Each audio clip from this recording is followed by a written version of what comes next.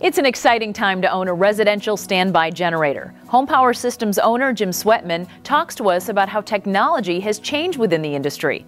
Let's find out how Wi Fi gives further confidence to generator homeowners. We've been in business for almost 15 years now, and the technology has changed dramatically, even in the residential home standby generators.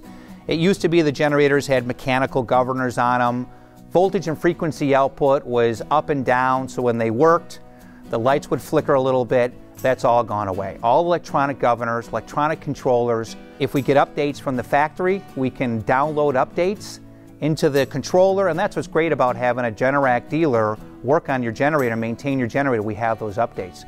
Generac has also come out, we're extremely excited about the new Wi-Fi remote monitoring system.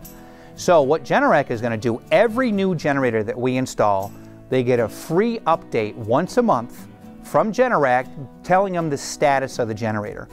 We also have other programs available and packages where we can give you updates and we can monitor that generator as well.